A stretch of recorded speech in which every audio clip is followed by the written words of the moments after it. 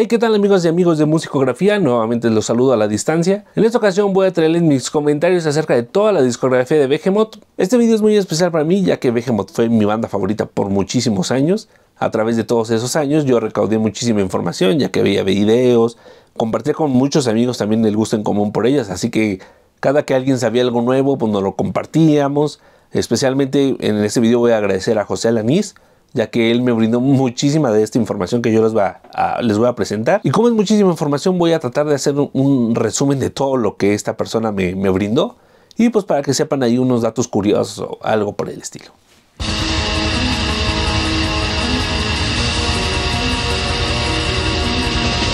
Sventy Beat es el álbum más puro de black metal de Behemoth, riffs sobresalientes en el género, un ritmo muy fluido y muy al estilo de los años 90. La diferencia que yo noto aquellos años es la velocidad de las guitarras que era un poco más notable. Desde ese momento se veía que Behemoth tenía una idea clara de explotar la velocidad de los instrumentos que poco a poco fue perfeccionándolo.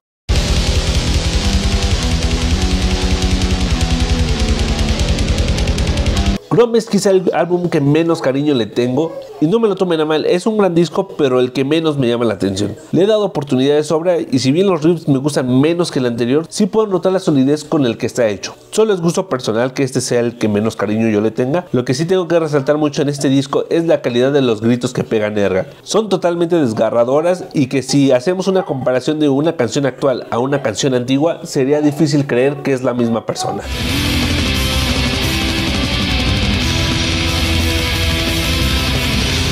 El Pandemonic Incantations es donde empiezas a notar por dónde va el camino de Behemoth. Siendo un black metal deciden meter más armonías en las guitarras o mejor dicho tal vez un poco más melódicas y la batería ni se diga, es, totalmente más brutal que los dos anteriores. Los cambios son constantes que quedan a la perfección.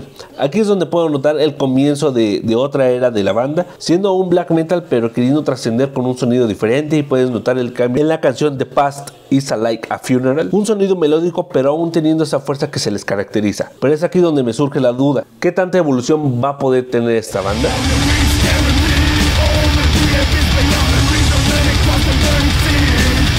Satánica sale al final de los años 90 y con ella una gran ola de canciones que hasta el día de hoy siguen formando parte del playlist. El cambio en la voz de Nergal es algo muy notorio, eh, a mi parecer la quiere hacer mucho más grave, pero el sonido es donde sigue constante el cambio al escuchar las canciones como Lamb, The Cade of Therion o mi favorita de este álbum, Chant for Eschaton 2000. Al mencionar estas canciones y compararlos con los primeros discos es una diferencia realmente abismal, siendo que Behemoth fue evolucionando más en sus instrumentos y en la voz y donde realmente siento que ya se venía a venir un cambio realmente grande. Aquí en su momento cuando era un fan aguerrido a la banda, conocí a varios fans de estas distintas dos etapas, los cuales estaban hasta el Grom o después de este, donde pues bueno, uno se quedaba meramente con el black metal que, hizo Behemoth al principio en sus primeros álbumes y con estos nuevos que ya estaban progresando un poco más en, en los ritmos, en lo melódico, pero sin quitar su esencia que si lo puedo definir en una sola palabra desde el inicio de Behemoth sería rapidez. Telema 6 es el disco que más he escuchado de esta etapa. Tiene sonidos que realmente aprecio y me parecen realmente buenos y mucho más en la guitarra que es el instrumento que más le, presto atención. Pero si debo destacar algo de este álbum y con el que finalicé el Satánica es la palabra rapidez.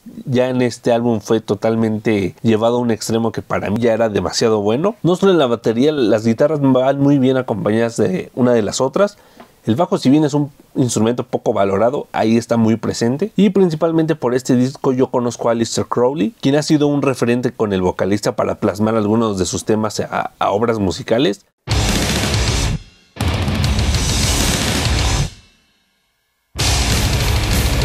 Es aquí donde voy a tomarme el tiempo de explicarles algunas letras de sus canciones. El, video se va a hacer un poco largo, pero quiero que quede el punto demasiado claro al finalizar el video. Y algo que me empezó a volar mucho la cabeza cuando escuchaba Behemoth fueron sus letras. Caí en una corriente filosófica donde Nergal dejaba en claro sus influencias que traía. En la canción Heru Raja, Nergal lo explica en su autobiografía es un himno de la expresión de nuestras necesidades. Estamos buscando la luz de la iluminación, cuya aspiramos a encontrar, por encima de nosotros y en nuestra vida, para sentir el primitivo poder ardiente del hadith. La luz que balanceamos es como un rayo que quema toda la ignorancia y la pereza. Se convierte en un dorje de trueno, un arma contra nuestros enemigos y los esclavos de la hipocresía ciega. Con esta breve explicación, ahora sí prosigo a explicar una parte de esta canción.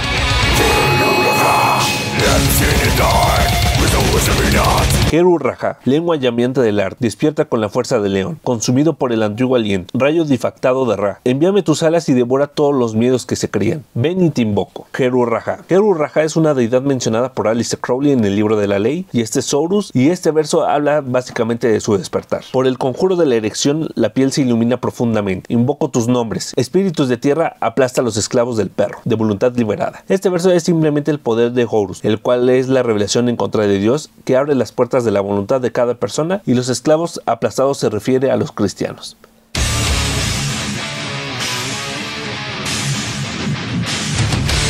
God es el disco con el que yo conozco esta banda y simplemente al momento de escuchar una canción fue donde quedé maravillado. Fue la primera banda de black metal que escuché y la segunda a la que he investigado un poco más. En resumidas cuentas, God fue llevado a cabo en la gira del 2003. Nergal comenta en su autobiografía, en una entrevista, que estaba pasando por un mal momento, de la cual logró sobresalir y se sentía más fuerte. Se sentía como un semidios. Esto se lleva a cabo en la creación de la portada del disco. Un semidios debe ser diferente a la forma del ser humano. Por eso mismo Nergal utiliza una máscara, alas y costuras en el cuerpo que podrían dar a entender el renacimiento de su nuevo ser. En su mano izquierda se le ve que tiene una monada jeroglífica creada por John Dee, un antiguo ocultista y astrólogo del siglo XVI, que por cierto Dee resumió en su descripción del glifo en uno de sus teoremas monádicos y dice lo siguiente, es el deseo del sol y de la luna de esta monada, que los elementos florezcan y en su proporción ordinaria se separen, y eso se realizará mediante el calor del fuego. Igual en la punta del azón se puede ver un águila en símbolo de la victoria. Tal vez de aquí en adelante el video se alargue un poco, pero vuelvo a insistir, quiero dar a entender la evolución que vivió esta banda y cómo su música va un poco más allá de lo convencionario.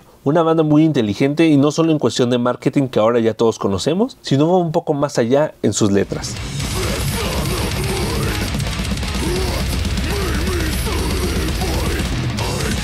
La primera canción que escuché fue Chul y por lo mismo que fue la primera que, escuché, siento que merecía una mención en este video. Y para no alargarme mucho, ya que hay una letra que me gusta más de este disco, Nergal menciona que es una canción Lovecraftiana. Chul en sumerio significa mal, pero leída al revés, Lux es una palabra en latín que significa luz. La canción dice, yo, espacio infinito que es todo lo que consume. He aquí, estoy sin fin. Mi conciencia brilla universalmente, sin consolidar por esa miserable dogma. El infierno es la democracia. Aquí habla sobre su propia superioridad, hablando de que el mismo espacio se consume. Se dice ser infinito cuya conciencia es superior, sin embargo no puede consolidarse como un dogma el cristianismo y cómo la mayoría elige eso. Se vive en un infierno. Todas las cosas existen en mí. Yo no creo en nada para salvarme. Mi código firme y orgulloso. No hay nada pero Dios en mí. Volvemos aquí al tema del teleísmo. Habla de ser uno mismo íntegro, que no necesita creer en Dios para la salvación y que Dios está en nosotros mismos. Sí, aquí yo creo que veo un poco también un poco del abeísmo aquí, pero pues bueno, en fin. Pero si pudiera elegir una sola letra en este disco que a la que tengo que resaltar más es a la que pues, todos conocemos que es Slave Shartser.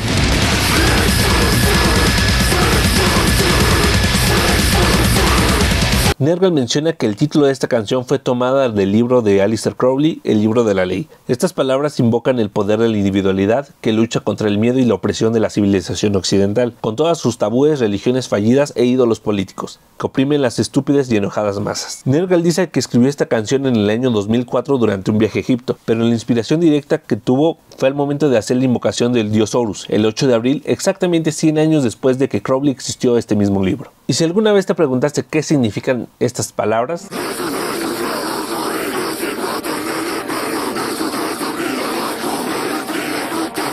Aquí te lo voy a decir. Pues bien, el intro comienza con los esclavos servirán así como las coronas caen. A medida de que el apocalipsis se acerca, los esclavos servirán al ser inferiores, la fuerza vital y los rivales no muertos. Basados en lo que dice Nergal, habla sobre las personas de las masas, que sirven a los demás y no son seres inferiores al no buscar la individualidad. Padre del terror, entra en la torre por la galería del pasado, catacumbas de la noche. Usando la explicación de Nergal se refiere a que el pasado es la causa del terror y la opresión actual. El dios de la guerra pisotea toda debilidad. Este es tu día. Orgullo. Saca tu espada encendida y corta el cordón umbilical para liberarme de este sueño eterno. Aquí habla sobre destruir las debilidades de las personas al seguir a las masas y cortar todo lazo que nos une a ellas y para liberarnos de esta de estar siempre oprimidos con miedo e ignorantes. Este verso habla sobre destruir debilidades de las personas al seguir a las masas, la lucha en contra de ellas y cortar el lazo que nos une a ellas para liberar de estar siempre oprimidos, con miedo e ignorantes, que este sería el sueño eterno. Los esclavos servirán a la Pues de eso, de las personas que están dentro de las masas y no quieren destacar y siempre servirán a alguien y estarán condenadas a eso siempre.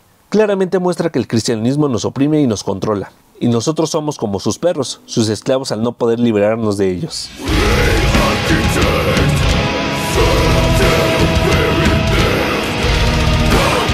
The Apostasy es el segundo disco de estas tres etapas que menos me gusta. Si bien hay otra breve pero destacada evolución de un disco a otro, siento que no tiene elementos por las cuales considerarlo a la par o superior al de mi God. Esto lo digo meramente desde el gusto personal, pero hubieron cuatro canciones que me gustaron de este disco. Las demás no fueron ni fu ni fa, la verdad. Apostasy simplemente cumple, pero siempre lo he sentido como un preludio a lo que en verdad venía y para mí la culminación de esta siguiente evolución.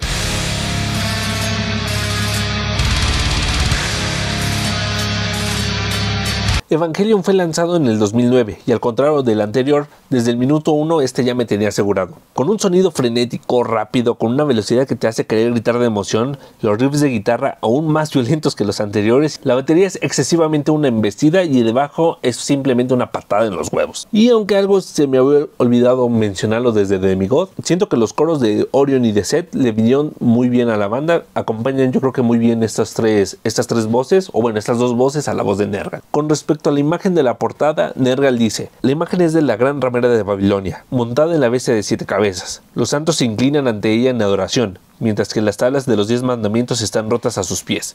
Eso representa nuestra visión y la interpretación de la parábola del Nuevo Testamento donde la gran ramera de Babilonia es un símbolo de rebelión y resistencia en contra de Dios. Me fascinan las historias cuya fuente reside de la Biblia y hemos utilizado el simbolismo bíblico, junto con mi propia experiencia y perspectiva, y nuestras letras o antiguas portadas. El personaje principal de nuestra portada es un arquetipo de desobediencia, individualismo, autodeterminación y voluntad libre y sin restricciones. La bestia de siete cabezas es mencionada en el libro de Daniel y el Apocalipsis, donde esa también tiene 10 Apocalipsis 12.3.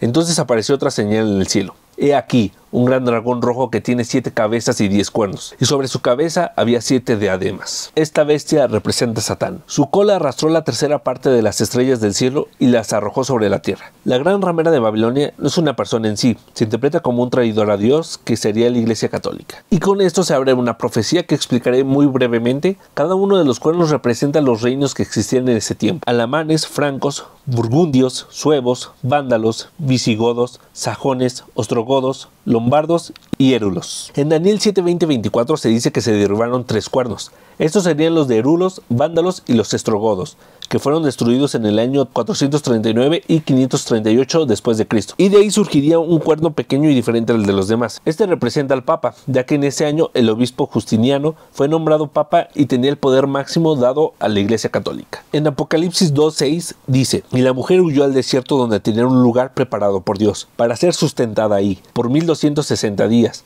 al decir la mujer se refiere a la iglesia. Se da por entendido que el catolicismo no es la iglesia real. Y al decir días se refiere a los años. Lo de 1260 días se menciona en Daniel dos veces. Si sumamos el año 538 más el 1260, da 1798, año en el que el Papa Pío IV es tomado prisionero por órdenes de Napoleón.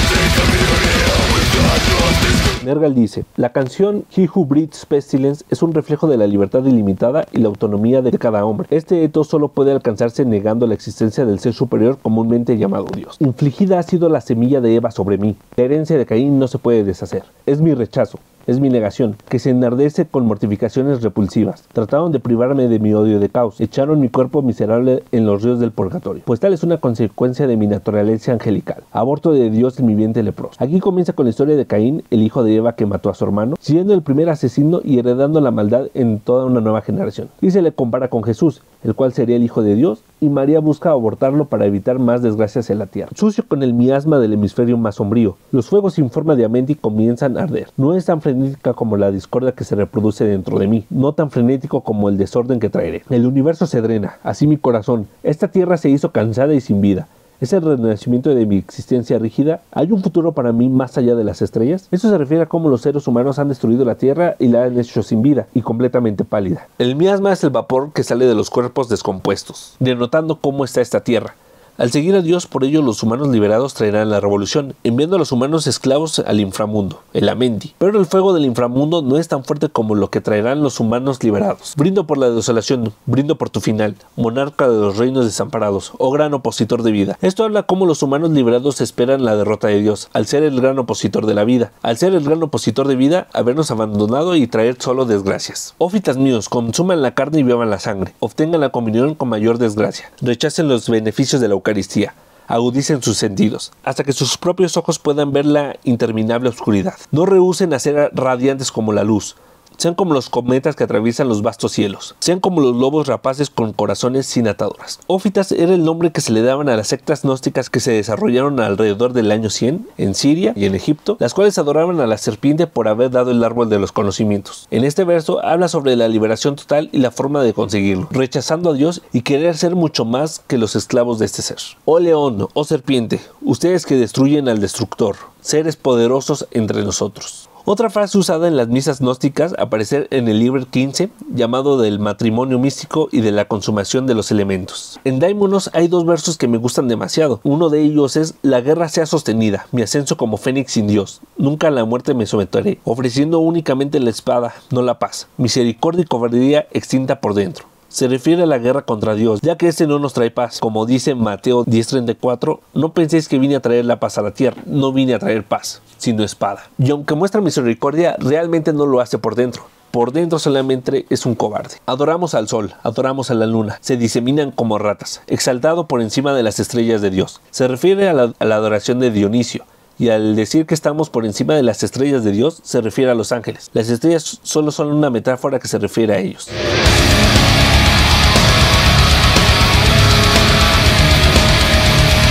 Y ya como último, una canción que fue un preludio a lo que venía con esta banda. La canción es de un poema de Tadeusz Misinski. Disculpen si lo, si lo pronuncio mal. Pero Nergal dice, Tadeusz Misinski es un poeta del periodo neorromántico cuyos escritos fueron influenciados fuertemente por el romanticismo oscuro y la ficción gótica romántica. Sus obras fueron inspiradas en la gnosis y el fatalismo. Expresaron la creencia de que solo los individuos elegidos, el superhumano, pueden poseer almas y vida eterna. En línea con los conceptos maniqueos, percibió al mundo como una, como una guerra cíclica e indeterminada entre el bien y el mal, en la que Lucifer es un aspecto o una emanación trágica de Dios. Yo soy el rey de los cometas, cuyo espíritu en mí gira, como el polvo del desierto en una etérea pirámide. Yo, el trueno de las tormentas, más tranquilo que una cripta. Puedo ocultar los cadáveres y abominaciones de mis tumbas. Este verso habla sobre Dios, el cual sería el rey de los astros, el sol. El éter es una sustancia filosófica que llena todo el espacio. Después pasa Satán, que es el trueno las tormentas, la fuerza y la luz, pero tranquilo. Y él es el que carga por él es el que carga con las culpas de Dios, al ocultar los cadáveres y las abominaciones, las cuales son causadas por Dios, pero atribuidas a Satán. Yo, el abismo del arcoíris y espectros, incapaz de llorar sobre mí mismo, cual frío en vientos.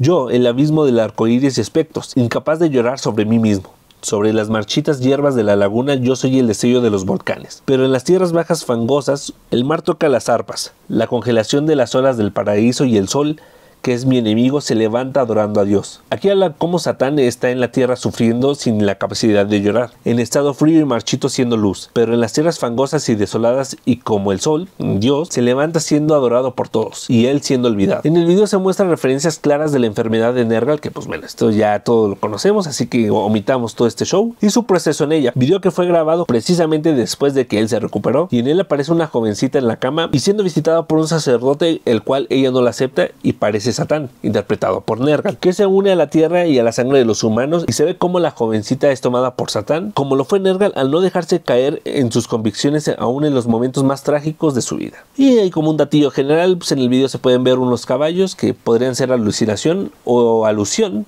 a los cuatro jinetes del apocalipsis. A mi ver, a mi ver, Evangelion cierra de una forma muy buena, realmente buena, pero con una sensación rara al momento de escuchar Lucifer, ya que desentonaba un poco del todo, todo el álbum. Pero precisamente cuando Nergal supera esta enfermedad, hubo varias preguntas que me empecé a hacer en aquel entonces. ¿Cómo superar Evangelion era una? ¿Hay más en esta evolución? Después de, de los riffs melódicos, rítmicos, bien pensados y rápidos, ¿puede existir algo más?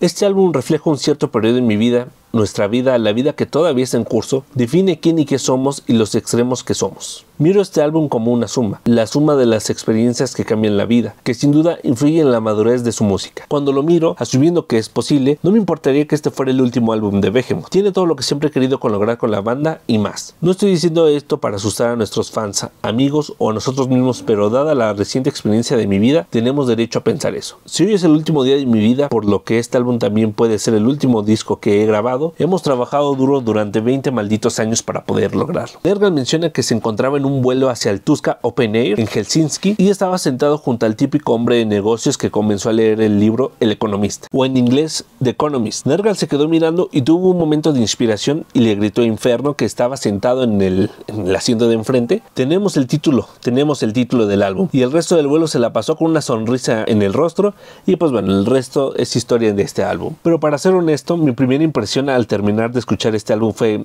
¿y esto qué chingados es? Recuerdo perfectamente que cerré muy molesto la lap donde lo estaba escuchando y procedí a odiar el álbum. No me gustó a la primera ni a la segunda y estoy casi seguro que ni a la tercera vez me gustó. Es hasta el año 2014 más o menos que deciden volver a México y le di una oportunidad más al álbum y efectivamente no me volvió a gustar pero hubo una, una, canción que valoré demasiado y estuve traumado con ella un buen tiempo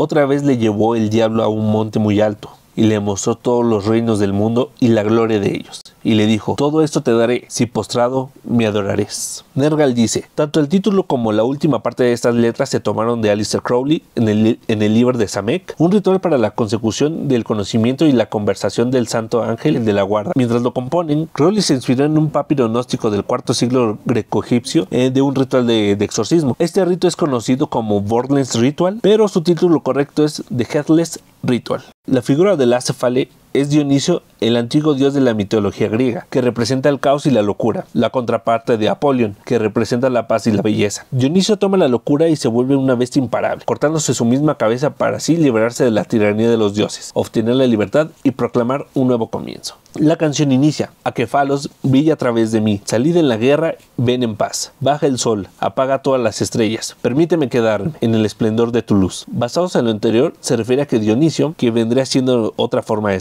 Al ser enemigo de los dioses, y el verso dice que Satán se manifiesta a través de nosotros, e iniciemos la guerra en contra de Dios, que sería el sol, y contra todos los dioses, las estrellas. El no nacido cuando la oscuridad brilla, que no se encuentra en las lenguas, que no se encuentra en la luz. El no nacido es el Bornless Ritual y basados en lo anterior es para obtener el conocimiento e iluminación, que no encontrarás en los sacerdotes ni en las personas, o sea, en las lenguas, ni con Dios ni con los santos, en este caso la luz. Ahora vamos con la parte limpia de la canción, o sea, con el de las voces limpias. O sol de serpiente y león, la bestia que hace girar rápidamente un rayo, engendrador de la vida. Tú que fluyes, tú que vienes. El adid del sol de Satán que hace su voluntad. Esto se refiere a Satán desde un comienzo al referirse como la serpiente y el león, y lo pone a él como el creador de la vida. Tú errante Padre de todos, escúchame y haz que todos los espíritus se sujeten a mí. Entonces que todo espíritu del firmamento y el espacio, sobre la tierra y los abismos en tierra firme y en el agua, de torbellino de aire y de fuego corriendo, y de cada hechizo y azote de Dios pueda ser obediente a mí. Aquí habla de cómo podemos dominar a Dios, los dioses y los ángeles, que en este caso serían los espíritus por medio de Satán. Grita en voz alta y gira la rueda. Oh Padre, oh Satán, oh Sol. Se refiere a alabar el nombre de Satán y dejar que éste haga su obra. Muchos, incluidos Juanma, porque déjenles comento que a Juanma le gusta este disco, me dirán por esto, pero no es un disco que realmente me agrade. Pero conforme pasan los años lo valoro más. Hoy a 10 años de su salida lo escucho con emoción de una nueva etapa de Behemoth, pero ya, con, pero ya no como evolución. ¿Era algo nuevo? ¿Tenían que volverse a arriesgar? ¿Pero les funcionó? Claro que sí, era algo nuevo, tenían que volver a arriesgarse y me pregunté constantemente, ¿les funcionó?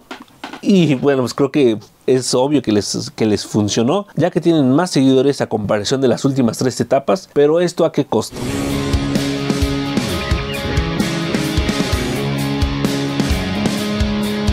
I Love You at Your Darkest llegó en octubre del 2018 y si The Satanist fue raro, este fue aún más raro. Canciones como God Equal Dog, incluyendo un coro de niños, una canción como Barzabel, donde son 6 minutos de lo mismo, ya era suficiente. Me quedó claro que Behemoth buscaba llenar estadios, ser las cabezas de carteles en futuros años cuando las leyendas se fueran a retirar si es que se retiran algunas porque pues este paso, pero pues le apostaron a hacer una banda más mainstream. La merca que tienen cada vez es más absurda. Café, calcetines, tacitas de San Valentín con tu integrante favorito en un corazón, ya era obvio el pinche giro que estaban teniendo estos güeyes. Que pues es respetable pero cuestionable. ¿Qué sigue? ¿Un próximo Gene Simmons eh, pero ahora con Nergalo o qué pedo? Aunque si les tengo que admitir algo, hay una canción en este deplorable disco que me gustó y para ser aún más honesto con ustedes, entra en mi top 10 de la banda.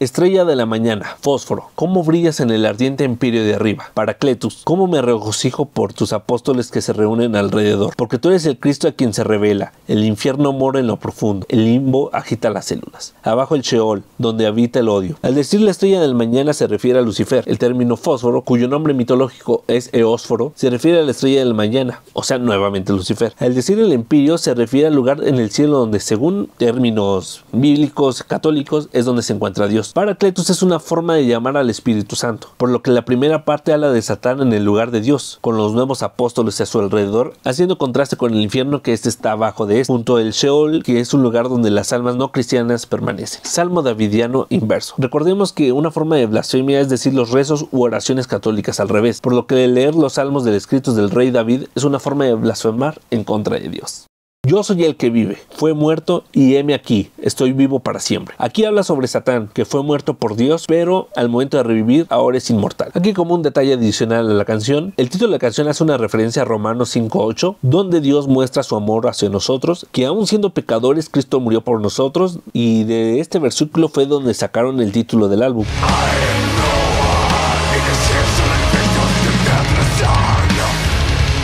El último disco de la banda pues, ha sido Opus contra Natura. No, tengo ni cómo chingados se, pronuncia eso, pero yo supongo que las Vs son Us, así como de repente suelen usar ellos las letras. Recordemos que No Fire and the Void no usan la F, usan una V. Entonces, pues supongo que más, va más o menos así. Diciendo esto, ni lo había escuchado después de la última decepción que tuve en 2018, pero a raíz de este video tuve que hacerlo y fue lo esperado buena composición. Eso no se debe debatir o cuestionar porque creo que creo que Behemoth, creo que Adam e Inferno componen bastante bien. No veo dónde le puedan dar batalla ahí, pero pues para mí es un álbum aún más flojo que el anterior. Hubo ocasiones que nada más veía las pinches canciones para ver cuántas me faltaban para acabar. No me gustó nada y al contrario de los últimos dos discos no hubo ni una sola canción que pudiera rescatar ni ni una sola letra que pudiera meter a este a este video. Lo que debo aplaudir es su constante y buen manejo del producto audiovisual mostrado en cada uno de sus videos. Cada vez la verdad me sorprenden aún más que su video anterior. Siento que Behemoth dio todo allá por el 2009 y con un destello de algo nuevo en el 2014. Y si bien la evolución de bandas no es algo malo, aquí aplaudo mucho a bandas como Emperor en no querer sacar algo nuevo puesto que su vocalista ya trae otras ondas en sus nuevos proyectos. Y por donde lo veas, siempre habrá un fan de Behemoth en alguna de esas etapas. Ya nunca habrá un disco igual a los anteriores. Si Evangelio no suena igual que un Grom, ahora no espero que los nuevos discos que estén por venir suenen a un Evangelion o un Demigod. Nos guste o no, Behemoth seguirá por un largo tiempo. Aún así, siempre agradeceré las horas que me pasaba investigando acerca de su historia, ideología, cada integrante, y eso es lo que yo me llevo al final, y no un mal sabor de boca como su último disco.